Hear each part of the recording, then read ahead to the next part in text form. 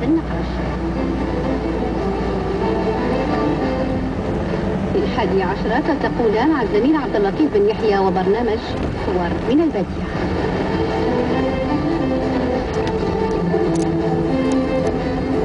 في منتصف النهار برنامج شؤون جهوية رفقة حسين حبشي وموضوع آفاق إصلاح الجماعات الترابية.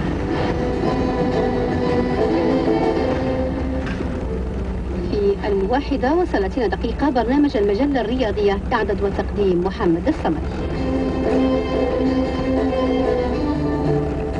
وللتذكير أعزائي المستمعين سيؤذن بإذن الله تعالى لصلاة الظهر حسب توقيت طنجة والنواحي على الساعة الواحدة وخمسة وعشرين دقيقة.